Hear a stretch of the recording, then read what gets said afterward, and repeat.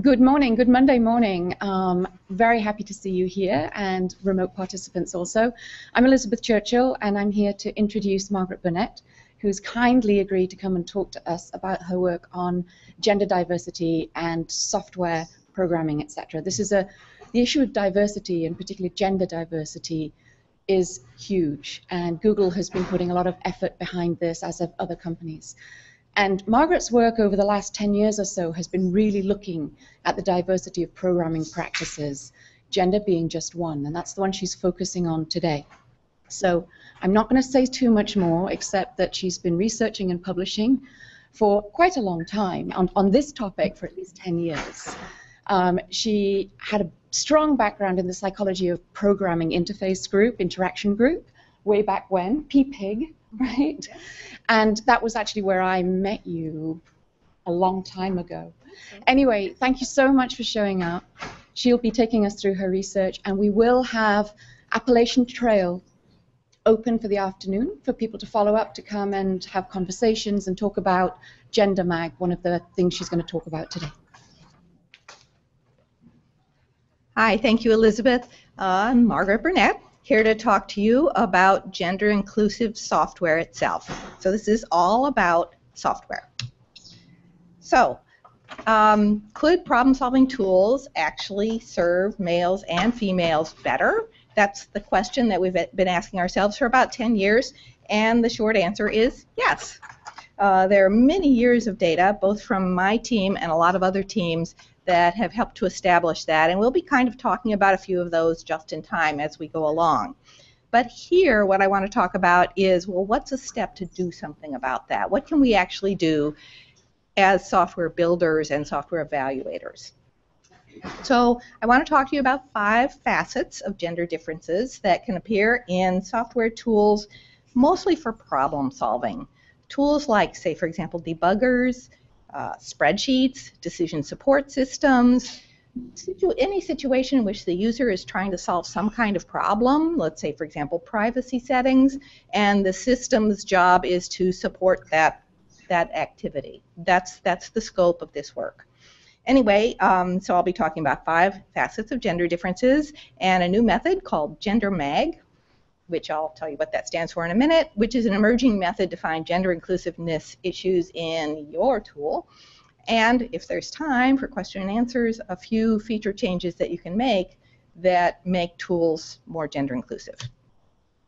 Okay, so why would we care about gender differences in using software anyway? Well, that's kind of obvious, but let's go through three reasons. The first one is that ignorance is kind of a bad solution.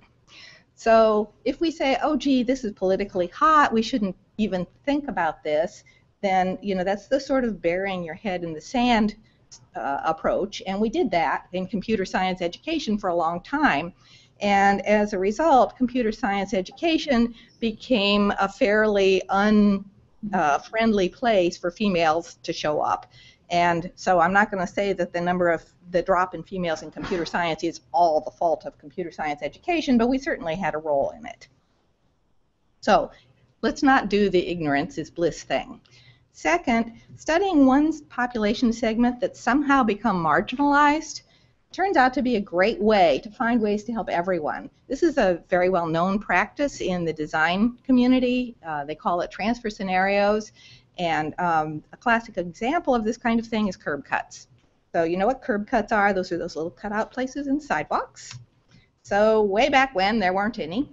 And people noticed people like this in wheelchairs saying, wow, this is terrible. We should do something, and curb cuts were born. And when curb cuts were born, it did help people in wheelchairs. And it also helped people in walkers. And it also helped people pushing their babies in strollers. And it also helped people on bicycles. And it helped people pushing heavy bales of hay on these wheeled dollies. And it helped the few people in the world that have suitcases on wheels. Okay? None of these benefits were anticipated, but by studying one population, people in wheelchairs, they found features that helped everyone. And the third reason is kind of a business case. Well, it's definitely a business case. The target customers. So here is an email that I got that sort of changed my life. Uh, it came from a software product manager whose name is not John, and he doesn't work at company X. And this company, um, which shall rename, remain nameless, creates software for medical people in a particular segment of medicine to program medical devices for their patients' needs. Oh, and by the way, I want to encourage questions as I go along, so do feel free. Anyway, the problem that he wrote me about is that 85% of their target customer base are female. But the trouble is, females hate their software. So this is a problem. He wanted to do something about it, but he didn't know what to do. What should we change? What should we fix? His development team, which happened to be all male, had no idea what to change, but it's been our experience down the road from this that adding a few females often still doesn't shed the insights that you need. So what should they do? That's what they wrote me about. And they wrote me because they'd seen about all of this foundational work that my team and I had been doing over the years, establishing that there was a problem with gender inclusiveness of problem solving software. So they said, Great, you're the expert, tell us what to do. And that's when I realized we didn't have anything for those people. Instead, all that foundational research was very usable by people with strong research backgrounds in gender differences, but what could ordinary software practitioners do and UX people if they didn't have that background? So that's what led to Gender Mag. Gender Mag is intended to be a bridge from our research and other people's research to practical use by non-researchers. It's a method to identify gender inclusive issues in software, and there's a kit for UX practitioners and software developers. And we're iterating on this. So, so far, just a few people are using it, um, and we want to continue to study it a little bit longer before we sort of go worldwide with it. So what is this method? Well, the MAG start part stands for magnifying glass, and so it is a gender specialized cognitive walkthrough, and I'll show what that looks like in a minute, well, a few minutes um, and magnifying personas. What it does is it enables you to evaluate software features and tools through this gender lens if what you're interested in is features for helping people problem solve or, or for supporting them as they problem solve. As I said, like debuggers, like customization things, like spreadsheets, things like that. And what it looks like is a set of personas with five theory-based facets of gender differences, and then this gender specialized cognitive walkthrough that refers to those five facets, and these two bits are really intertwined. So they sort of shake hands all the way along. So here's what it looks like. There are these personas, and so in case you aren't familiar with personas, those are like archetypes of a system's intended users, including their goals, motivations, and so on. So far, we've created two of these. We eventually plan to create more as we continue to re refine the method. But right now what we have is one male and one female named Abby and Tim. And we focus on five theory-based facets in which these gender differences have been statistically shown. And we show the statistical position of these populations, uh, the male statistical um, body of work in Tim and the female statistical body of work in Abby. So I'm going to let Abby introduce things, things to you. Don't try to read this. I don't expect you to. Uh, but this is the entire persona of Abby, and we're going to let Abby introduce you to these facets one at a time. This one you're allowed to read. This one is facet number one. Abby's attitude toward technology, in particular her computer self-efficacy. Abby has low confidence in using computers, uh, she has low confidence in, in performing computing tasks. She often blames herself for problems that she encounters. So what is this self-efficacy thing anyway? Um, somebody named Bandura started this theory of computer self-efficacy. Gosh, it's been uh, about 40 years ago now, and it's very well known and very highly respected. It's a specific form of self-confidence in some particular area if the task that you're about to perform is pretty well known. So I'm about to cook a meal. Do I have high cooking self-efficacy or do I have low cooking self-efficacy? Do I think I can do this? Okay, so a lot of, um, of literature shows that females tend to have lower computer self-efficacy than female than males, and by tend to I mean statistically. Um, self-efficacy is very important because it's quite predictive of somebody's willingness to try if things get difficult, their perseverance, their willingness to try different approaches. So it's quite a predictor in that sense of how well somebody can eventually do. So a group uh, that, uh, that I was part of did a study on features and computer self-efficacy. And we did this in spreadsheets. So we, we drew this notion of computer self-efficacy from the previous research and we asked ourselves, so how does that play out? How does that affect the way people use features in problem-solving software? So we divided the features into three piles. The type we called familiar, that was formula edits. Now, this is a system called Forms 3. You've probably never heard of it, although maybe a couple of you have. And um, in this, this is a prototype spreadsheet. It looks a little different from Excel, but you'll notice, do I have a mouse? Yes, I do. Okay. You'll notice that filling in a formula is just a text box. In our study, we recruited people who were very experienced with spreadsheets, and so obviously, if they know how to do spreadsheets, they also know how to do text boxes, and so, indeed, everybody found this to be a very familiar form of interface. So that was the type of feature that we called familiar. Then there was the kind we called taught. That was a check mark and an arrow. We knew they'd never seen this before because it was only an R research prototype, which hadn't been released. And so um, this is something called WYSIWYT, which you don't really have to understand. It's just a sort of a spreadsheet testing thing. And so if you check something off if you're a user and you say, gee, that value looks right. Can't find my mouse anymore. Oh well. Uh, then they can check it off. And that causes some reasoning to happen behind the scenes, and the system figures out how tested all the different cells are and colors them according to definition use adequacy. So okay, that's the check mark, and the arrows follow the same border color or the same color scheme as the border colors. So we taught them that we knew that they didn't know it before they came in because it's not publicly available. And then the third feature, which we called untaught, is an X. So you might notice that instead of a value being right, it's wrong. And you can X it out. And if that happens, then the system does some reasoning using slicing and dicing about where the, the faulty formula probably is. We did not teach that. We mentioned that it exists. Oh, there's this X but we didn't tell them anything about using it or try to push using it, and all the features were supported by tooltips. So now you know what the setup was. What were the results? Um, everything I show you is going to be statistically significant unless I say otherwise. So this pink line is statistically significant. The blue one, though, isn't. So what this shows is uh, this is plotting computer self-efficacy against the success using the fancy new features, the untaught ones and the taught ones. And so what it shows is that the females' computer self-efficacy was highly predictive of their effective use of these features. So what that says is you've got low confidence females and you've got high confidence females, and their confidence really was a strong predictor of how much they were willing to use these fancy new features. For the males, you also have low confidence males and high confidence males, but it had no relationship between their willingness to fiddle around with the new features. No relationship at all. And this particularly matters because there were a lot of females at the low end of the confidence scale, whereas not so very many males. In fact, we had statistical differences there too.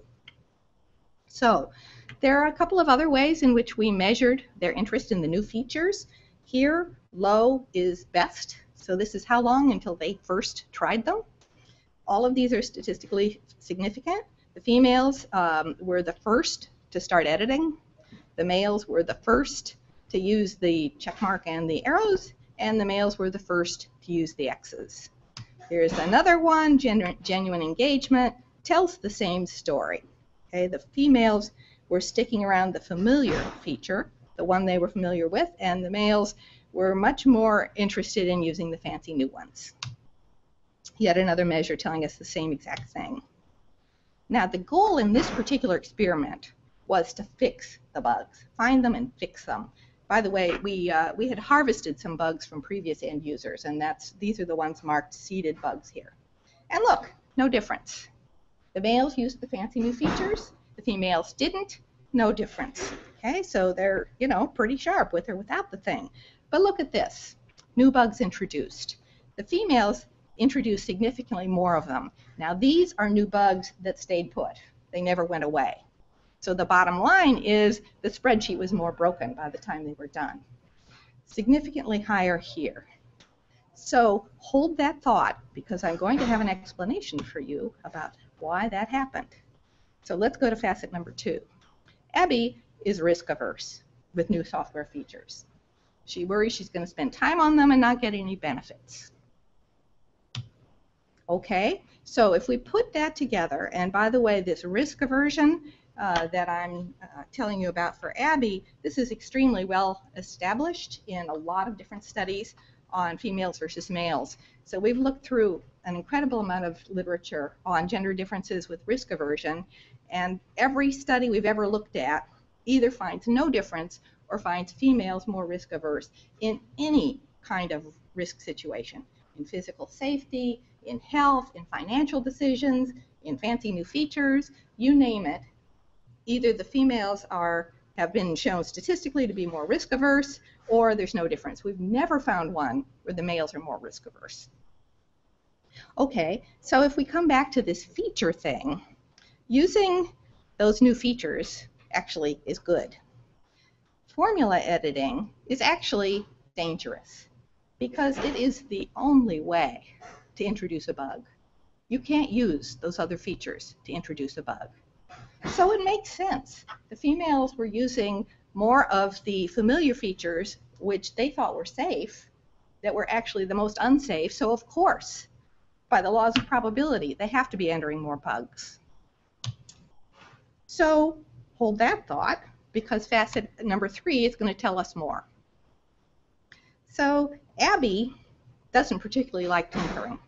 She prefers to follow step-by-step -step tutorials in Wizards over tinkering, and she avoids troublesome features. Now, tinkering is defined in much of the literature as playful experimentation. You're playing around with things to see what they do. In our study, the females tinkered less, and this is, um, well, let's see here. That's going to be this top line here. The males are over here, the females are here. But when they did so, they tinkered pausefully. So what does that mean? Well, it turns out that pauses are really important. In education literature, it's been shown that pauses for reflection, just tiny little ones, between the time you do something and you get some sort of response or question, uh, just small pauses can greatly improve one's critical thinking. And so we borrowed from that literature. And we used the same thresholds they do. In that literature, their threshold is three seconds. And what we found out is that almost all of the tinkering that the females did was were was pauseful. The males, when they did that, when they were pauseful, they learned as much from the tinkering as did the females. But males had this tendency of going nuts. Sometimes they went crazy. So a pauseful tinker looks like this. Tink, er. Tink, er. Okay, there's a pause. And some of the males were doing tinker, tinker, tinker, tinker, tinker, and the females were not doing this. Now, once again, this is all statistical. So lots of exceptions to all these things, but that's the way the numbers lined up. Um, okay, and when they did go crazy, it hurt the male's performance. So it actually got in the way of them being able to learn the new features and succeed with them. So turns out I, have been showing you several studies in spreadsheets. So let's get out of spreadsheets for a while. Let's look at something else. I got access to a whole bunch of data in a whole bunch of problem-solving settings with a whole bunch of people's job titles. And in essence, I found the same thing. So here, this was a survey that had been given to a whole lot of people with different job titles. And this was one of the questions on the survey. I didn't write this survey, but I inherited it and was lucky to do so because it's all about tinkering. It says, I only use the technology I have to know. These are box plots. In case you aren't familiar with box plots, this line in the middle is the median, and then the uh, the boxes above and below are the uh, the quartile above and below, and then the lines are the rest. And if you see little dots, those are outliers. Anyway, you can see that the females were significantly more likely to say that they only use the technology they have to know than the males. Now the females are coming in at neutral. Okay, it's not the highest thing, but it is significantly higher than the males. That's overall. We also broke it out by job title. Don't bother to read all this. The bottom line here is it doesn't matter what job title they have, we find the same thing. These are administrators over here on the left. Then we have UX and designers. Over here we have bosses of professional developers. Here we have professional developers. Every single job title, significant differences. There were two other questions about tinkering on that same survey, we got the same answers. So didn't matter how we measured it. All right then, let's look at motivations and strategies. So Abby learns new technologies when she needs to, but she has little desire to learn new functions. She uses methods, procedures she's already familiar with and comfortable with to achieve her goals. So let me just show you one example of what this looks like. This is something from one of our studies again, but we're certainly far from the only ones who have found this. And what this, uh, we had introduced this, this end user to something called a guard, which I won't bother to explain to you, and she's using it. And she says, so, 0 to 100 is the guard I'm entering. Okay, okay, hmm. So it doesn't like the negative 5.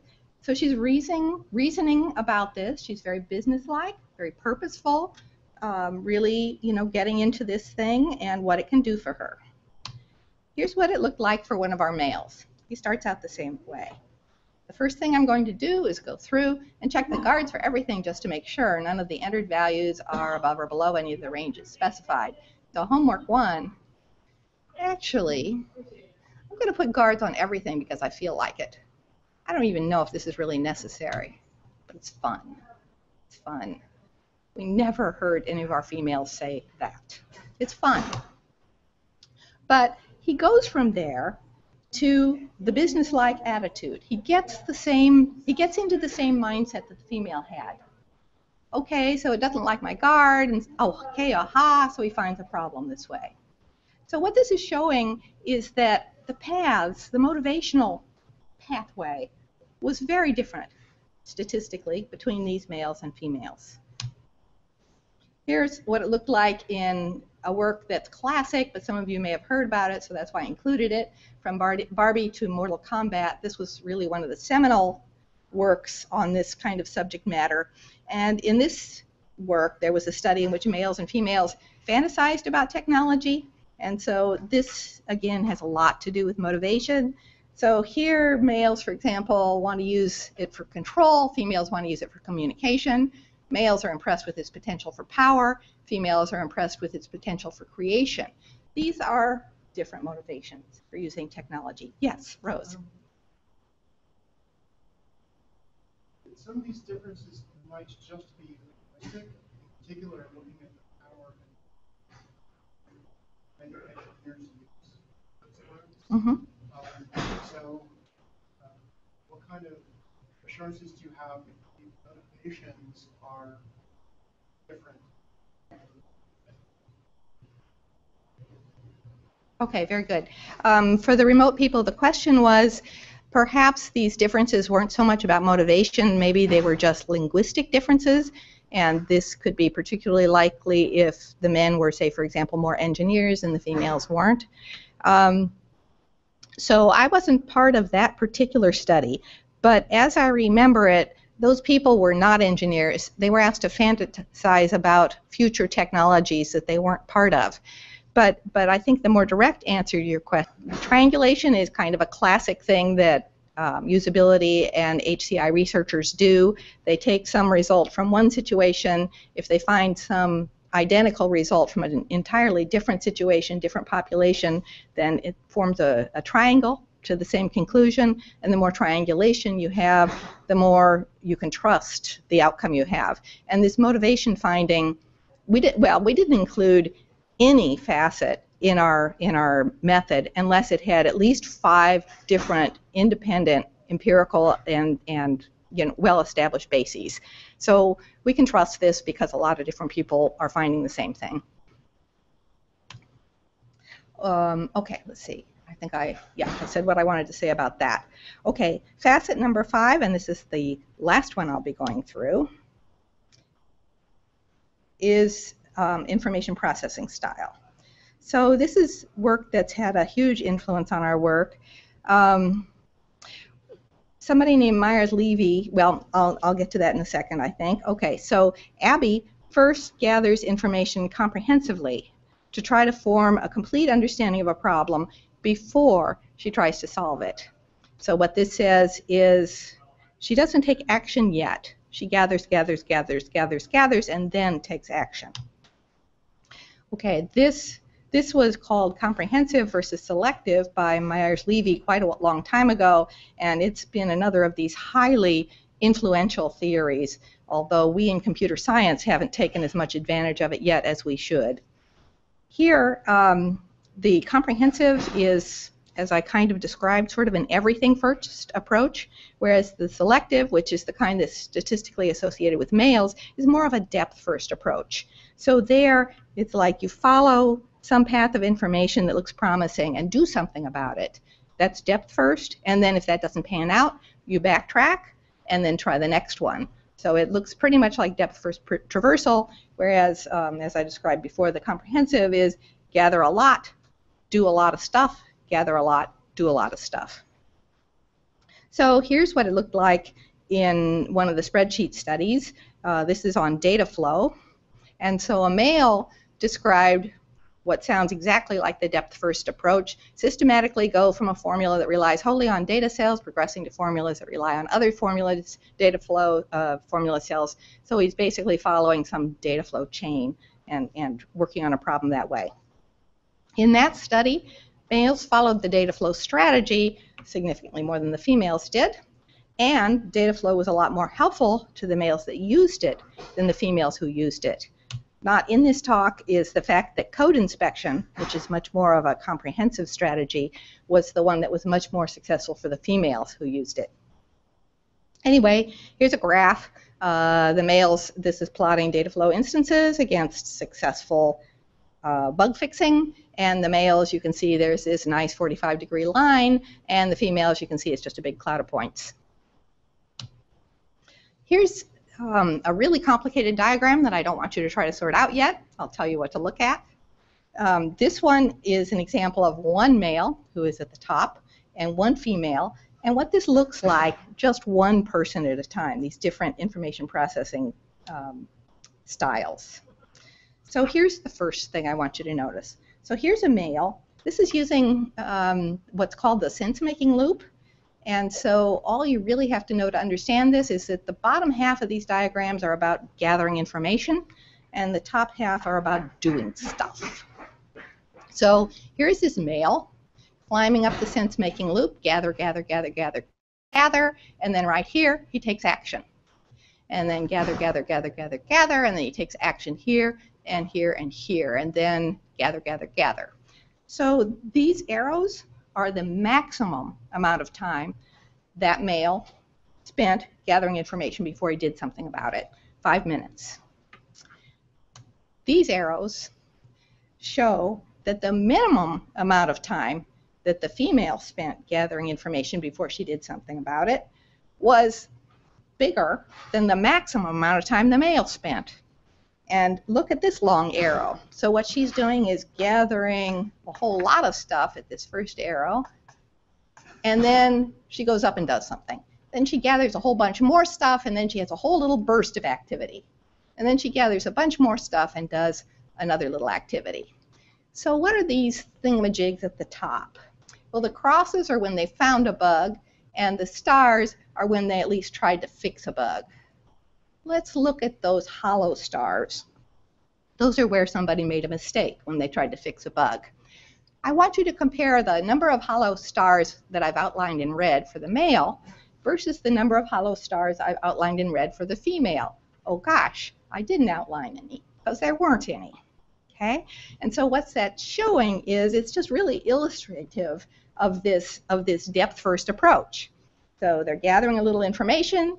Go up and he uh, goes up and tries something. Maybe it doesn't pan out. He backtracks, tries something else. It doesn't pan out. Gathers a little more. Tries something else. It worked. Okay, that's just that problem-solving style. And you can just see that it's very different from hers. Neither is better or worse. They solved and fixed exactly the same number of bugs. Okay, it's just different. And by the way, spreadsheets mainly support the first one okay, the male style. So, now you know this, now I know this. Isn't that great? But we're researchers, or people researchers are talking to. GenderMag is supposed to let John know this. So how can he do that? Because he needs this so that he can fix his medical technician software to be gender inclusive. Soapbox pause. Okay, so I am a huge proponent of theory-based methods, and that's what GenderMag is. I've, I've shown you all those ties to prior, prior theories and empirical work. And so the great thing about theory-based results is that they enable you to connect the dots. You can connect your findings to prior theories, and so you know what pieces of your findings actually matter. And if other people also come from those same theory bases, you can connect the dots really well between those things too. So this is this is my soapbox. Now I'll get back off of it again. Returning to our story. So, to remind you, Gender Mag is five theory-based facets of gender differences set into a process, which is this gender specialized cognitive walkthrough. Abby has some more stuff. Um, the stuff is mostly exactly the same as Tim. So one of the things that we've strived really hard to do is to take extraneous gender stereotyping things out. So, for example, Abby is very good at math. She likes working with numbers. She likes puzzle games. This is the same as Tim.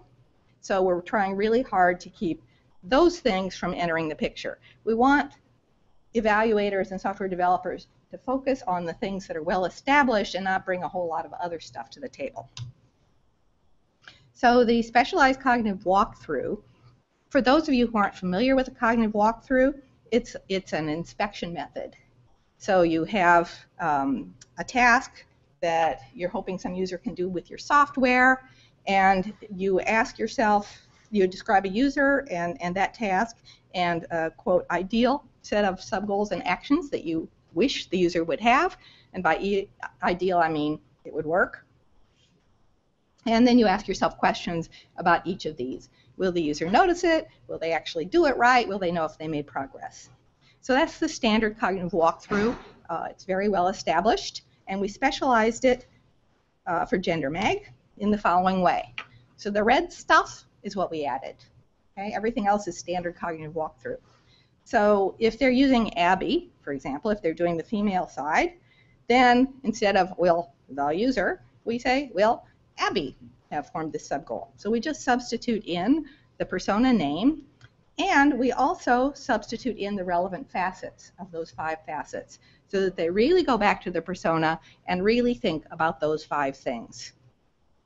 So that's all. That's GenderMag. So I wonder if it works.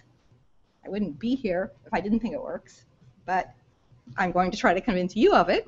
So, so far, We've done a formative case, study at Company X, a formative workshop event at VLHCC 13, and a lab study with professional UX practitioners in London. And our results, bottom line, was GenderMag works. It identifies user uh, usability issues that research says are likely to affect female problem solvers, and it's usable by ordinary UX practitioners and software developers with little or no gender background. So I told you that, but you probably say, well, how do I know that? So I'll just tell you a little bit about the lab study. Uh, we did this on Gidget, Gidget is a system from University of Washington. It's Michael Lee's dissertation project. He's working with Andy Ko on it. And we used this as our setting to evaluate. We brought in 10 UX professionals. Five used Gender Mag with Abby.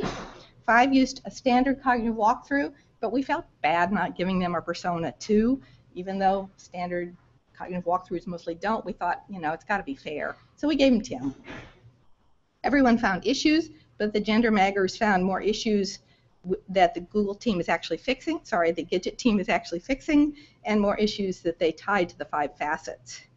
Interestingly, both male and female UXers tuned into the persona more with GenderMag than with the standard cognitive walkthrough. I think I'll skip what Gidget looks like. Yes, question? So what was the result in terms of the, the improvement of the software? Identified that changes were made, Mhm. more changes were made, but what was the- Okay, I'll show you right now. Thank you. Um, so, are the findings real? Um, and that was, by the way, for the remote people, that was pretty much the question. Are the findings real? So, um, the UX, the professional UX folks identified 14 issue types. Many instances of some of the same type, but the types were 14. And after they did that, and none of them were connected with the Gidget project at all, we independently took that set of issues to the Gidget folks and said, are these real? And the Gidget folks validated 97% of them. And we know they weren't just being nice because they had already independently noticed some of those and started to fix them. Further, of the 14 issue types, 10 of them, they also gender, uh, uh, validated the gender differences that were discovered. So to just give you an idea, here's one of the issue types. I don't want to try it regarding some, some feature. So 24% of the um, Abby issues that were turned in by this using GenderMag were about that. Only 12% of the TIM issues using the standard cognitive walkthrough were about that. The Gidget folks said yes, that was a real issue, and furthermore that they had noticed it especially with females over their many studies that they had done. They haven't yet fixed it, but it's on the plate. They want to. The second one, fault localization, was something that uh, the UX professionals in the study turned in equally for the males and the females. The Gidget team said, yes, that's a real issue, and they had already fixed it. And they said, and it's our experience that it's both genders, and they'd already fixed it by the time we even had this interview. The third one, um, here, you know, you can see they fixed it. The gender difference here was not va- validated, so there are a few that weren't. The last one, here we have assertions. It wasn't a big one in terms of the numbers of the UX people who noticed it, but the, the Gidget team validated it and said they, too, had noticed the same kind of gender difference and they had already fixed it. So there are 14 of these, and as you can see, um, they're real, and they mattered enough to the Gidget team for them to fix it before we even interviewed them. So this is kind of awesome. And after that, and after those fixes, a couple months after that, the Gidget team went public, and they released Gidget to the world. And since the time they've released it, they keep track of people who declare a gender when they download it, and 47% of the people who have chosen to download this programming game, that's what it is, it's a programming game, are female, which is just awesome. Let's see here. Oh, here's something that uh, you can barely see it. It says, love you, Gidget. Here's something one of their female users wrote on a survey that they asked about Gidget. So, future work, featuring opportunities for you. So, we're working on field studies. We want to know whether this method works really and truly in the field when we're not part of it, when we're not giving people instructions, when we don't have a controlled setting, um, when people are evaluating it on their own software, and they have no access to the gender difference research. We've also started to teach it in our HCI classes. So I've taught it at Oregon State, which is where I'm from, and it's also been taught at City University London, Harvard, Umeå, University of Nebraska, and University of Washington, and there are more people that are talking about using this in their classes. The method slash kit have been under iterative refinement for about two years. we would like to continue to refine it a bit more. We already know some things that we want to change. We change it usually about once a month. And actually, we have our we have one of our very first field studies tomorrow at ODOT, which is the Oregon Department of Transportation. And so they're going to be using it. So they'll be the first government agency to start using it. Google could be the first big time company to use it. So far, we're limiting distribution uh, because we don't want it to go worldwide until we actually have finished evaluating it and seeing how well it really works and making it as good as it can be. But if you'd like to consider using it here, I'd love to talk to you. Um, I'm going to be in this conference room just down the hall, the Appalachian Trail, available to talk to anybody who wants to drop by from 2.30 to 3 and 3.30 to 4.30. So please feel free to come by and we could talk about that. So conclusions. Um, you've seen the five theory-based facet, uh, uh, facets encapsulated into this method. GenderMag aims to find, help John find real gender-inclusive issues in his software. And the goal is we'd like to take down inclusiveness barriers one at a time because it's been our experience that doing so helps everyone. So I'm open for questions. More questions. Yes. Um, I know this is not part of your research, but I'm just very curious about the, the differences. I know are more of a, a nature Okay. The question that I got was a nature versus nurture question. Please don't be ashamed of that. I get that every time I give a talk like this. Um, and so for us, uh, we're agnostic to that. We don't we don't actually care because our philosophy is this: if if you have a male and a female working on some kind of job that requires problem solving, and the boss says, "Here's your problem solving software, and here's your table. Get the job done. I expect you both to be able to do equally as well." Then what we'd like to say is, we sure hope that table is level. So whatever they bring to the table, if the output is supposed to be the same, then the table has to be level. And we don't care why the output might not be the same. Or I, I'm an educational Yes.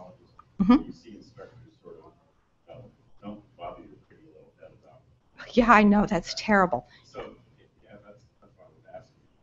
Because there, I understand that this is stuff, but I'm wondering about this.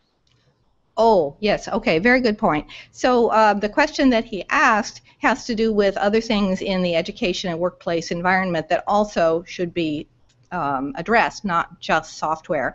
And the answer is absolutely. Our researcher right is not about that, but there's a wonderful resource called ncwit.org. It stands for National Center for Women in IT, and they have wonderful resources about the workplace climate, the educational climate, things you can do in the classrooms, helping address stereotype threat, all kinds of wonderful stuff, all available free. And so, highly recommended. They're an awesome organization. Yes.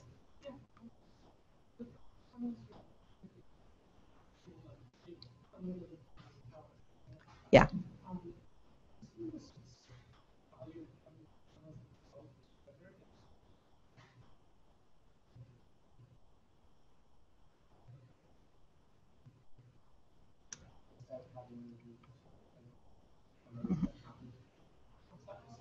Yeah, that's a really great question. So the question was do the personas actually have to have genders, or could they somehow be gender neutral? Because the real point, which, which you've grasped really nicely, is the facets. It's not really the gender. Um, it, it's an interesting point, and I don't have an off the head kind of answer for you, but um, one of the things about personas is that they're intended to really help engage the, the evaluator in that user. And so if we turn them into cartoon characters or, or somehow, you know, not people people, I fear that we might lose that. But I'm not sure. I mean, it really would require some study to find out. Yeah. We haven't. No, we have not. Uh, it, it would be worth doing. Ah, the question was, have we tried uh, flipping the names? And no, we have not. Yeah, I guess I sort of related question to that, which is, are you have plans to, um, you know, create additional archetypes where, you know, there's kind of more of a mix and match approach, feels like. Yes. you know, Counter stereotyping more. Yes. You, can say, statistically, statistically, as much as you want, but people here, males are this way, females are that way. Yes. it's really strange how people- that's Mhm.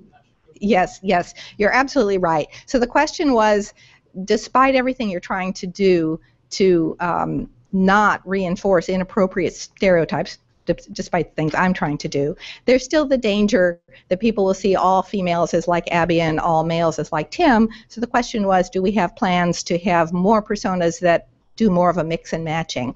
And the answer is absolutely, because we're just as afraid of that as, as the questioner was. We really don't want that to come out. And um, yeah, and so, uh, but we needed to start with these endpoints because if you're going to start with only two, and if your burden is to try to show effectiveness of the method, then you really need to take the extreme, extremes at the beginning. So uh, just to reinforce the point also that nobody is exactly, well, that's not true. It's not true that nobody is exactly like these personas. In fact, we've had some in our labs. But a lot of people are not exactly like those personas. I, for example, although I'm very risk averse in most things, there are a few things that I'm, I'm very happy to accept risks on, and I love risk in, in certain areas. Computer self efficacy, well, that's not me. I'm a computer science PhD. So there are some differences.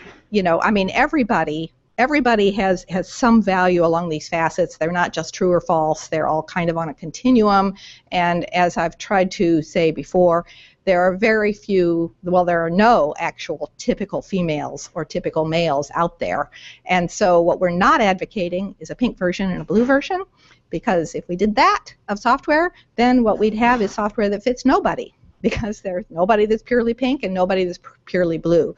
So what we instead intend for this to be used for is to find barriers at that granularity, one at a time, and take them down and say, oh, for example, tinkering. Males prefer tinkering as their learning style, females don't, so we have to give more than one learning style. Okay, so that, that's what we're intending it for. Yes, in the back. You focus on problem-solving software. Yes. Shouldn't this apply to just general software, like making a photo or creating a playlist for my music? It, it could. So the question is, um, does the scope really need to be limited to problem-solving software? So we're trying to be conservative in our claims of what it can be used for so far, but we suspect that you might be right that it may apply beyond problem-solving software. The examples that the questioner gave were, for example, editing a photo.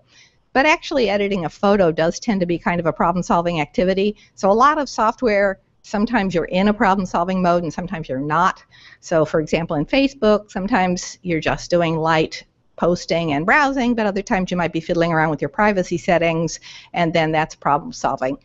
Anyway, the long and the short of it is yes, this probably does apply, at least in some ways, beyond problem solving software, but we want to first establish it's working there because that's the area that's been the most studied.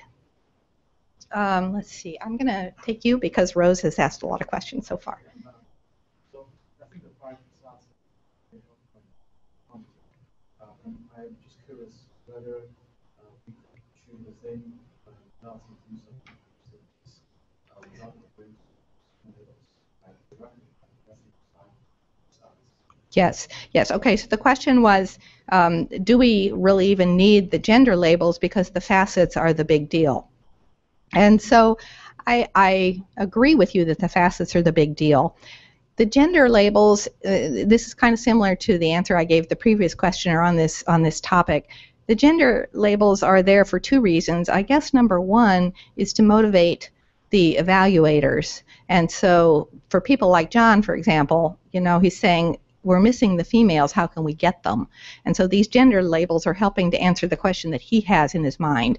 And a lot of people have that question in their mind. So in a way, it, it may be helping us. And then, of course, uh, from a persona's perspective, we may need it anyway. But what I hope to do is, is add these mix and match kind of facets for the genders later so that, you know, so that we avoid propagating stereotypes that we don't want to propagate. See, yes. So one of the things that I kind of keep hearing is you kind of be saying that there's like one spectrum, and one and the other then so, but I'm wondering, is it really that simple, or three, four, or five different solving styles, and not just like mixes of? Okay, that's a very good question. So um, the question really was, are these facets, well, I'm going to make the question bigger. Are these facets just linear? And, and that was the, the real question. And then I'll add to that, and are these the only facets?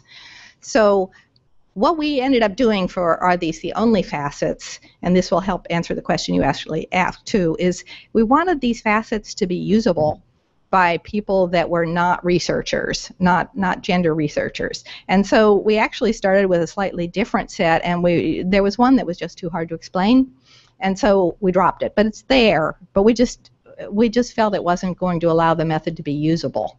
So there's that. There are probably facets that need to be that that could be considered that aren't and that's another criterion that we used we said you know how many facets can we expect an ordinary person that's trying to use this to keep in their head.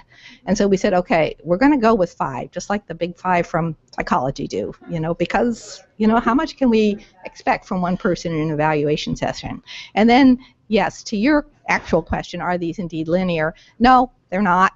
Um, we're just taking the ones that we feel like are really well established, you know, from other people's research and that'll fit into this list of five and go from here. But obviously there are a lot of improvements and changes that could be made that would have both positive and negative effects, you know, on usability and thoroughness and, you know, so there's there's a lot there there's a lot of groundwork still to cover. Yes. Unrelated, um, I'm curious if these facets apply across different cultures. Okay, very good question. So the question was, do these facets apply across different culture groups? And we can add to that different nationalities and that sort of thing too. I'm pretty sure that the answer is yes to a lot, but not every. So for example, in the country of Namibia, I believe that some of these results would be the opposite for genders. This is this is what some people from Namibia who are very knowledgeable about this kind of thing are also thinking. Um, I suspect that for minorities versus majority, ethnic minorities in this country, that probably they are um, on the facet side of the statistical females a lot of times, especially for things like computer self-efficacy. And uh, the majority group would be closer to the male style statistically. So there are a lot of other inclusiveness situations that this could be applied to. But so far, we just want to make sure it works with females and males. And a great thing about that particular division is um, it's, it's very well studied. There are a lot of females and males out there that are easy to get our hands on for us to validate things, so we don't have to um, we don't have to say where are we going to get people like this. And uh, right now, gender diversity is a huge deal, and so people are willing to pay attention when we're talking about this. But I can certainly imagine extending it to other accessibility and inclusiveness issues. Are you trying to cut me off. Elizabeth? No? Okay. uh, yes, in the back. So I'm curious about like classes of pictures. And so, for example, like we talked about, uh, I mean, there's like maybe this diverse version is one Mm-hmm. comprehension versus like that. Mm-hmm. mm-hmm. And sometimes like the third example is like, well, one solution doesn't fit a given population, so it's a general cost. Yeah. Um, anytime you you might be talking about trade off, Mm-hmm. and so it's not always good, you, you that kind of stuff, or what kind of general cost falls in this category? Okay, very good question. So the question is um, about fixes and about situations in which we might end up having to trade males against females or to choose just one gender because maybe it won't always be a win-win situation. And the question was, have I thought of that? Um, and the answer is, I've thought of it, but it's a real problem. I haven't just got a band-aid for it. Um, among the real problem aspects of it are the fact that adding yet another feature means you're spending more time programming, which is adding to the cost of software development, which businesses really care about. Another minus for adding another feature or another option is that it's actually making the software more complex with even more features, which actually works against the statistical females in our study. So, so there are nuances like that. On the other hand, there are a lot of situations, surprisingly many, in which you make the change and it helps everyone.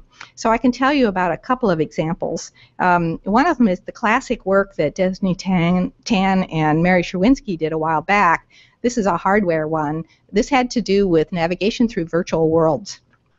And so what they found out is that um, due largely to the physiology of the eye, among other things, females were much more likely to become disoriented in navigating through uh, virtual worlds if they had a standard st- size screen than males. But as soon as you increased the screen size, the difference went away. And so this was awesome. There was no trade off happening here. Uh, you were just basically removing a barrier. Another example from our stuff is um, we've talked to you about this computer self-efficacy thing and, and the check mark.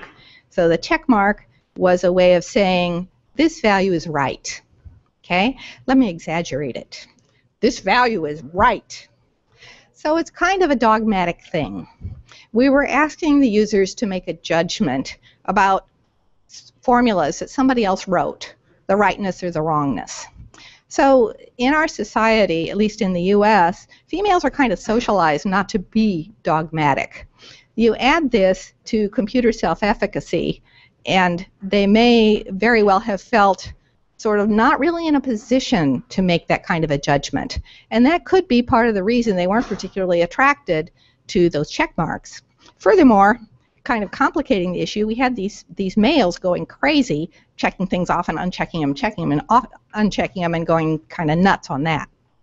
And so we made a very simple feature change that solved both problems. And so in the original thing, you check something off and the colors changed, and you uncheck it and they change back. It makes tinkering very low cost.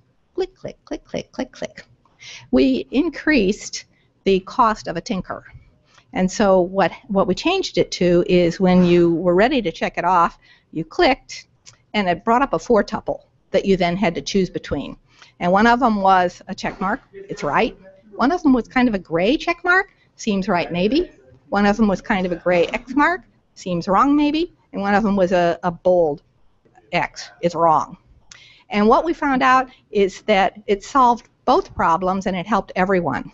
So what happened is the females tended to use the more nuanced ones more than the males, but everybody used both of them.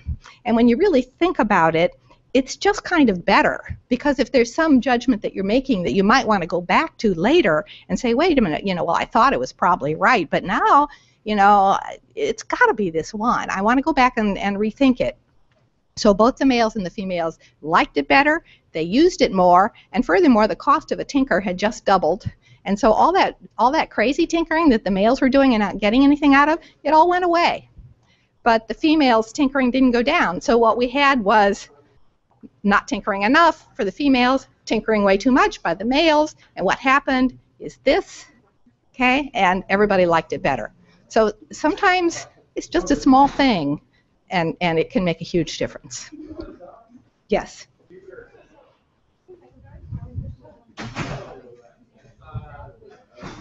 Mhm. Mhm.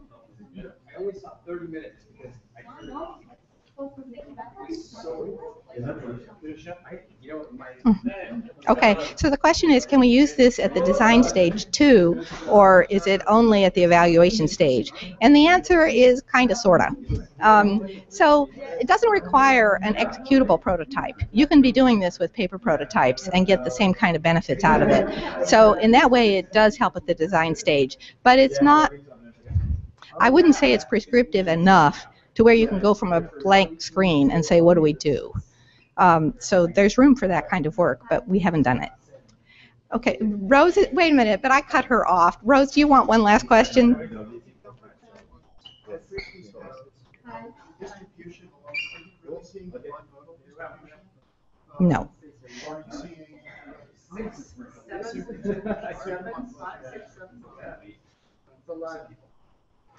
Okay, so the question was for these things, um, what's the distribution look like? Is it is it really and truly bimodal, or is it more, you know, sort of right around the middle? And um, because I'm talking about so many studies and so many different people's work, I, I can't really talk about any distribution overall, but in general, yes, we have found uh, a very bimodal distribution, but not on all five facets together. So, for example, the computer self-efficacy thing, we see this bimodal thing, but then if we look at risk, we also see this bimodal thing, but it's not exactly the same people. Yeah. Okay, so I think we should thank Margaret very much. Thank you.